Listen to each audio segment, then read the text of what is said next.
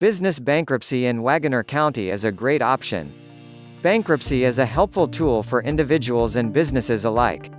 People generally know, so long as you qualify, you can file bankruptcy under Chapter 7 or Chapter 13 of the Bankruptcy Code.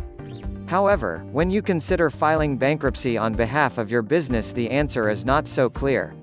There are several types of business entities such as sole proprietorships, limited liability companies and corporations. The general rule is that businesses can file under Chapter 7 of the Bankruptcy Code but not Chapter 13. There's an exception to the rule.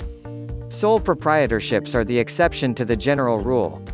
If you operate a business as a sole proprietor then you are still eligible to file under Chapter 7 or Chapter 13 of the Bankruptcy Code.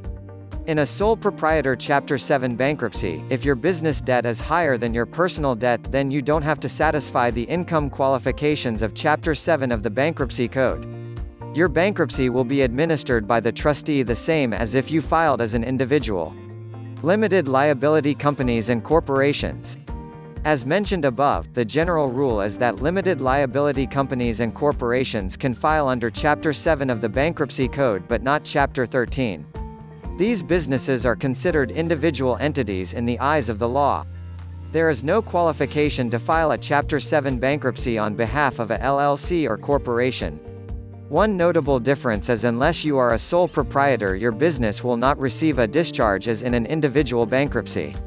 A discharge is an order of the bankruptcy court declaring that you, as an individual, are no longer responsible for the debts in your bankruptcy. In a business bankruptcy the entity will cease to exist therefore there is no need for a discharge. Bankruptcy has a meeting of the creditors. A 341 meeting of the creditors is typically scheduled one month after the business files for bankruptcy. To be considered valid, the meeting must include both the individual filing for bankruptcy and the court-appointed bankruptcy trustee. The 341 meeting is an important stage in a Chapter 7 bankruptcy. The meeting is intended to establish the facts of the bankruptcy in question.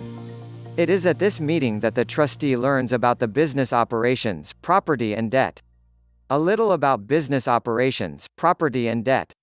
Upon filing a business bankruptcy the business is shut down and the business's operations, property and debt become the responsibility of and property of the trustee. A business entity can't use exemptions to protect assets in bankruptcy. Therefore, the trustee sells all of the business assets to pay creditors. Is there personal liability for business debt? Before filing bankruptcy you should consider whether you personally guaranteed the debts of your business. If so, then your creditors will simply let the business file bankruptcy often without objection and then sue you individually for the guaranteed debts. Business owners generally follow a business bankruptcy with a personal bankruptcy. Then in their personal bankruptcy the debtor receives a discharge. Contact our Wagoner bankruptcy attorney for help. If you're facing financial strain and you live in Oklahoma bankruptcy might be for you. Each year, thousands of people and businesses file bankruptcy in our state. Many of them are just like you. Filing bankruptcy doesn't have to be so difficult. Business bankruptcy in Wagoner County may help take the stress out of it. Get a free consultation today. 918 283 7394.